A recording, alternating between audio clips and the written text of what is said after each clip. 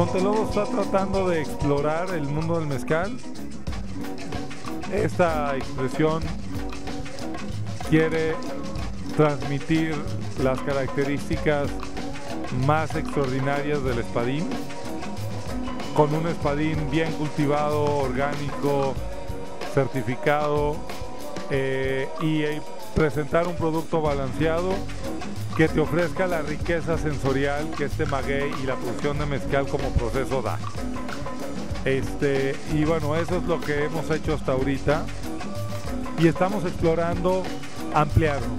Somos una marca que hace mezcal, que se compromete a, hacerlo bien, con la materia prima, con los insumos que utiliza eh, y con el origen de, de los insumos que usa.